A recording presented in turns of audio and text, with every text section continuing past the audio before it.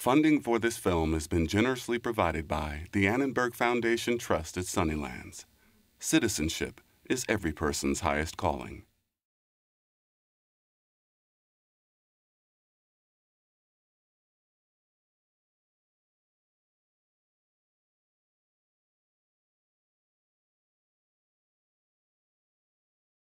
I'm Dan Harris in Signers Hall at the National Constitution Center in Philadelphia. We hardly think of it this way today, but to these men, this was an experiment, starting a new type of government for a new country they were going to call the United States of America. Not only was there no guarantee that it would work, but history pretty much told them it wouldn't. In their day, nations were run by rulers, not rules. Kings and emperors told everyone else what to do. A government run by the people themselves, that was an old idea, but it had never quite worked. People fight with each other. It's human nature. People are messy. They have their own interests and they disagree. All rulers knew that it took armies to keep the people under control. But these men believed it took a constitution, that they could create institutions that would let conflict occur, deal with it, and that people would accept the outcome. That's what they believed. And in the spring of 1787, it was time to deliver. But they weren't sure that they could. The Constitution was written in a time of crisis. They knew that if they failed at that moment, their country would fail. They responded by starting a nation in one room with just a handful of ideas and a small group of men. I do solemnly swear that I will faithfully execute the office of President of the United States. Films like this really kind of miss the point. Protect and defend the Constitution of the United States. Oh boy, they play right into the myth.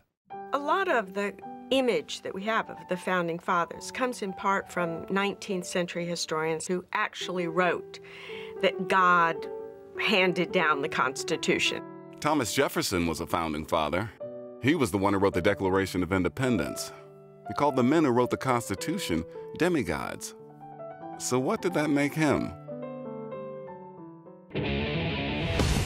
They're the closest thing we have to the Greek gods or, or royalty, and so they've been transformed into larger than life figures.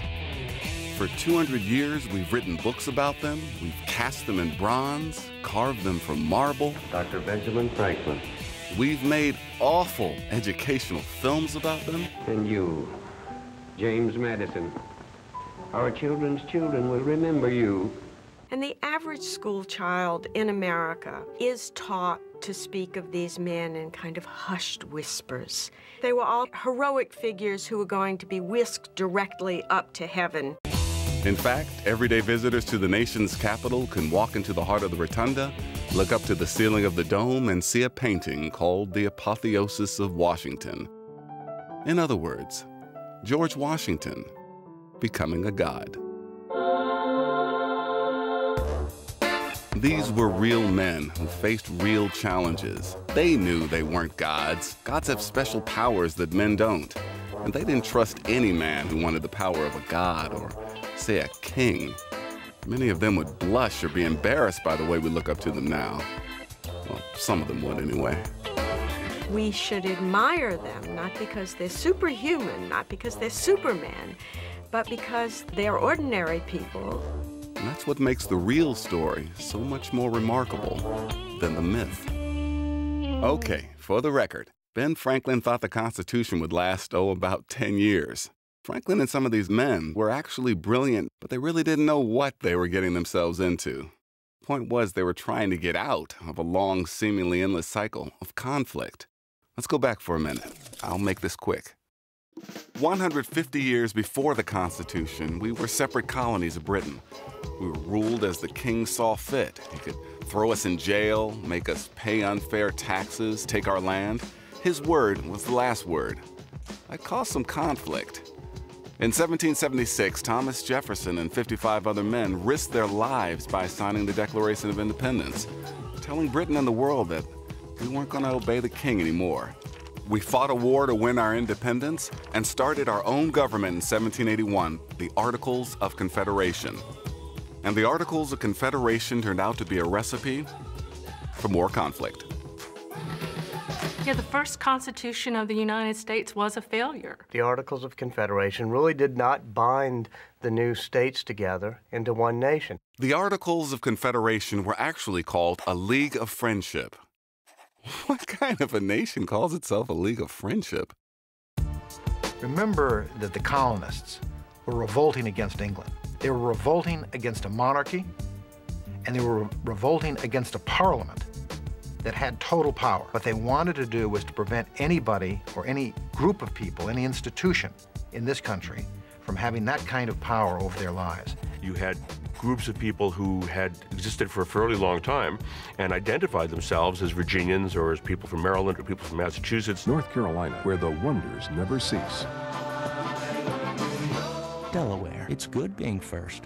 They want what later would be called states' rights, state sovereignty. The states saw themselves as essentially sovereign nations that had kind of agreed to kind of maybe work together, maybe kind of, sort of. And things fall apart so quickly that it's really kind of dazzling.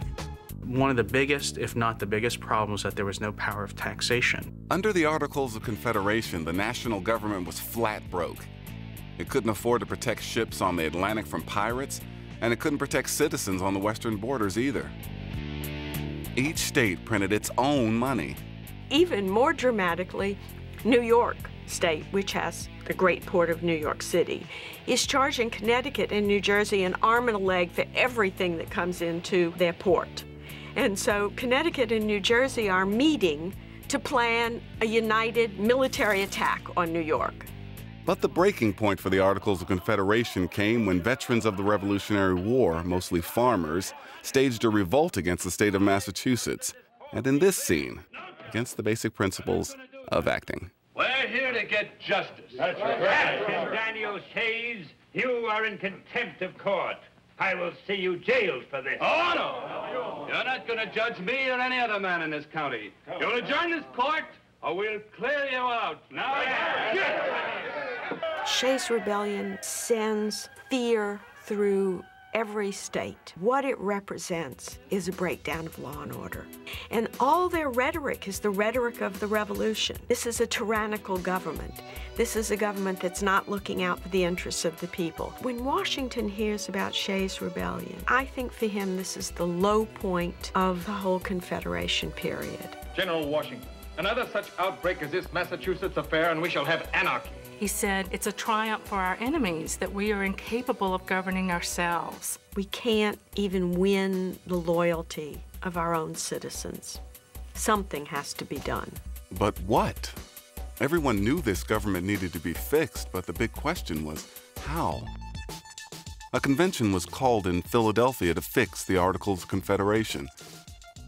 But just look around this room. These were the people who were coming to fix this mess?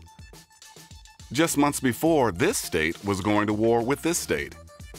Delaware came in saying they'd leave before they gave up any power.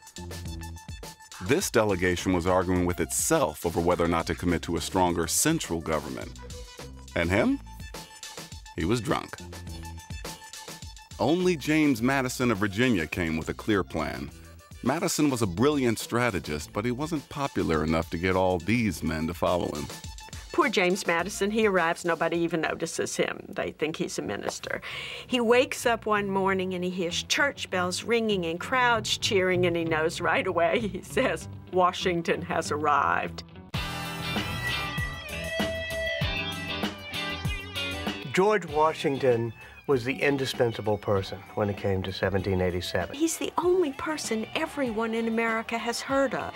There's no CNN, there's no nightly news. He was famous throughout the world, and he defeated the most powerful nation in the world, you know, Great Britain. You know, French hadn't been able to do it in hundreds of years. And then instead of seizing power, he laid down power and went home and was a farmer. And this was incredible. He could be trusted because people knew he was not interested in, in wielding or gaining any kind of absolute power, that he had the best interests of the country at heart. Washington fought to establish a republic, and here he was less than four years after the war, trying to save it. Right away, they take care of the easy stuff. The convention unanimously chooses Washington to preside. After that, everything they talked about could have brought them big, big trouble. You know, the interesting thing about the Constitution's drafting is that it wasn't authorized. Illegal is too strong a word, but what they were doing was not permitted under the Articles of Confederation itself. These people had no authority under the previous system of government to do what they were doing. Not supposed to be a constitutional convention. This is a tweaking convention. Wasn't supposed to come up with a new constitution, now it was just supposed to amend it. The third day of the convention, Edmund Randolph gets up and he says, Virginia thinks we should throw out the Articles of Confederation and write a new constitution. So on the third day of a convention called to make recommendations to amend the Articles of Confederation, they overthrow the government. This was it, the moment of truth. These 55 men were either going to save the nation or they had just destroyed it. There was no turning back.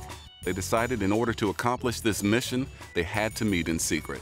They really wanted to have an open and candid debate. They take a vow of secrecy. You're not supposed to say anything to anybody, and they all obey the rule. And they pay for it. Every day, they literally lock themselves in this room. You've seen the paintings long hair, wigs. The Northerners are wearing wool. Philadelphia is having a bad summer. I grew up in Philadelphia, and it is oppressively hot and humid. It pours every day. And there is an invasion of great big bottleneck flies. And so people can't even open their shutters. And they're in a cooped up room with no air conditioning. The group buys Madison's idea, and it basically goes like this a central government with three separate branches, a legislature, which was most important to these men, an executive to do what the legislature wanted, and a judiciary. And here's why the three branches of government should keep each other in check. No one branch should become too powerful, kind of like a giant, very elaborate game of paper, scissors, rock. See, look, the president can't go to war unless Congress declares it. Congress can't create a law unless the president signs it. A president can't appoint a judge unless Congress confirms that nominee, and then the judge would serve for life and could one day strike down a law that both the president and Congress passed if that law violated the Constitution. Sounds difficult? A little complicated? Good. That's just the way they wanted it. The thing you notice most about the Constitution in reading it is the keen awareness that concentrated power is dangerous. It is almost as if uh, the whole thing was written to make making laws difficult. They expected legislators and congressmen to try to expand their powers, and expected the president to try to expand his powers, expected the courts to try to expand their jurisdiction. But by placing them in tension with each other, they thought they would block each other's overly ambitious actions. These men are anxious. Each and every one of them believes that powerful governments are dangerous. So they want to create something that, in a sense, they're afraid of. And the double irony of this is that the very people they don't trust with power is themselves, because they are going to be the leaders of that government. They start with the executive branch and can't decide if it should be a committee or just an individual. All that power might be too tempting for one person. He might try to take over and become a dictator or a king, or worse. And they can't decide how the president should be elected. Should the people vote for him directly, or should each state choose him? Near the end of the convention, someone comes up with a compromise called the Electoral College. In the Electoral College, voters choose a slate of representatives who then. Uh, never mind. Ask your teacher. They move on to the discussion of Congress, and this is when it gets serious. The larger states wanted representation based upon population, and the smaller states wanted equal representation by state. Okay, proportional representation. Let's say Delaware's got 1 million people and Virginia's got 10 million. Suppose we give each state a vote in Congress for each million. Virginia's fat and happy with 10 votes, Delaware's got one. Bigger states rule. They would have a much bigger voice in the national government. Madison wanted this because he thought a true national government should be elected by the people. And that states, well, We tried that with the Articles of Confederation. Remember?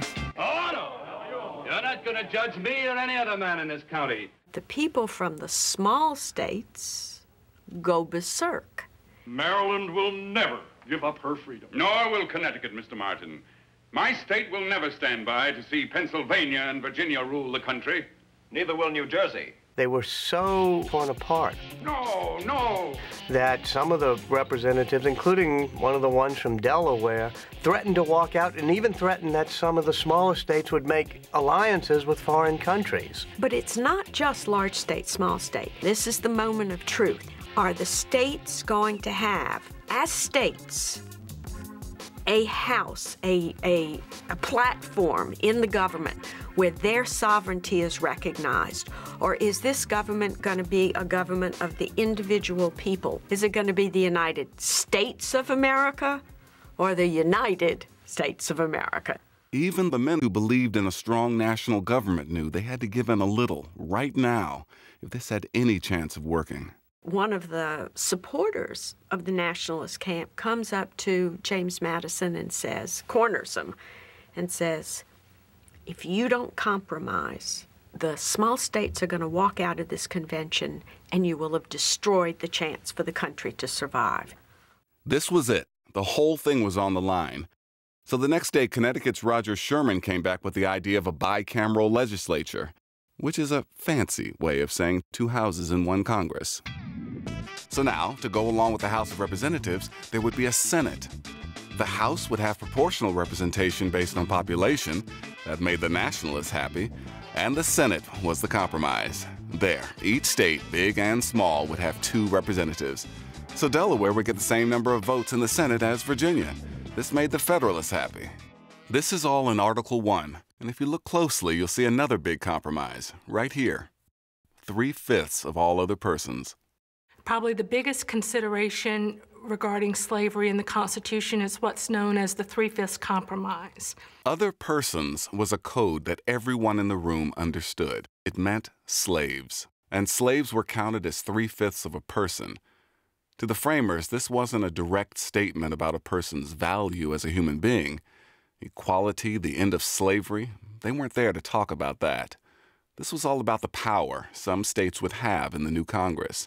If slaves were counted, even though they were slaves, then Southern states would get more representatives in the House.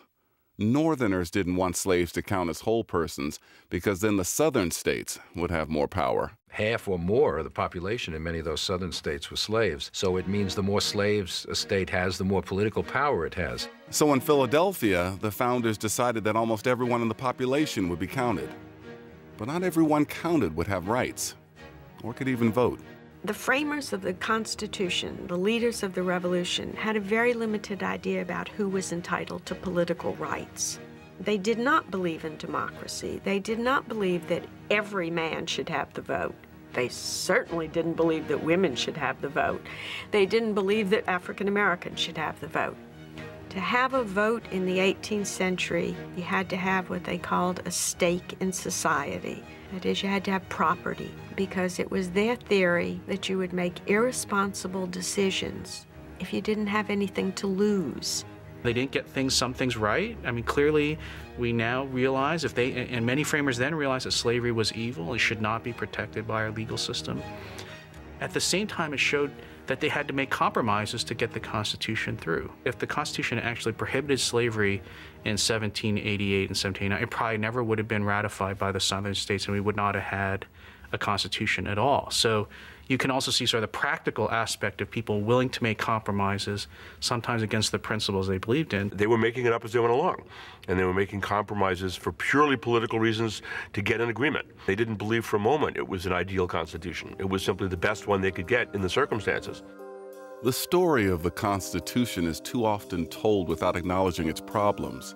Not all of the compromises made in Philadelphia worked out. As brilliant as it was, the Constitution written in 1787 left slavery and state sovereignty unresolved.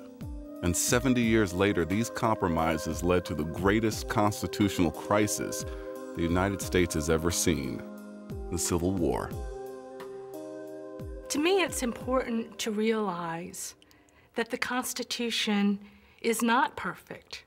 And it was never intended to be perfect. The framers themselves did not think it was perfect. So they made it possible to change it. That's why they wrote Article 5, Amendments. They knew they hadn't solved every issue. And there was one problem with their Constitution they'd have to fix almost as soon as the ink dried. Why didn't the framers at the Philadelphia Convention add a Bill of Rights to the Constitution? To us, it would seem obvious. You know, freedom of speech, freedom of religion, freedom of the press, we want it in there. You have to understand, every state had a Bill of Rights. Virtually every state had very carefully spelled out Bill of Rights. The guys wanted to go home. That's just the plain fact of it. And when someone said, Should we have a Bill of Rights? everyone moaned because they thought by time we all argue over what should be in it and how many clauses, we'll be here another month.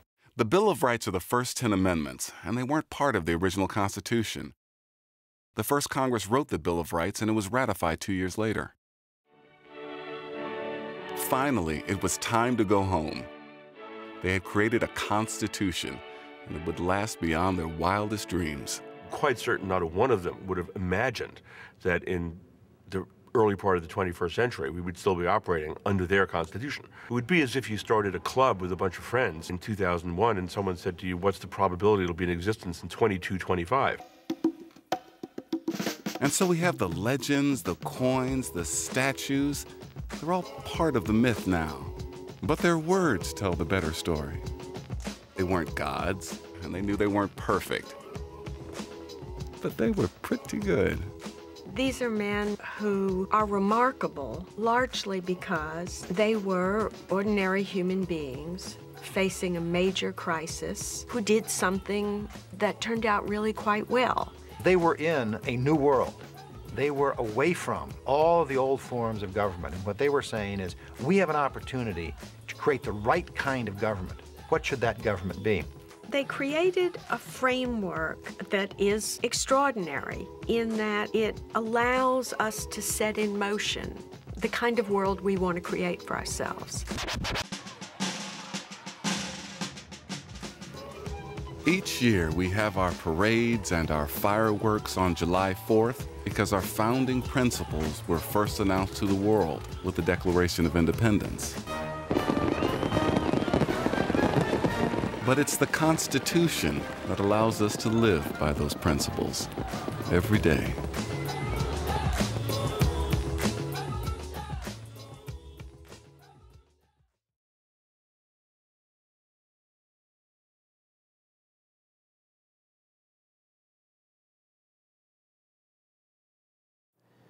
A poor man interprets the Constitution and he changes America. It sounds like a fairy tale, but it's actually true.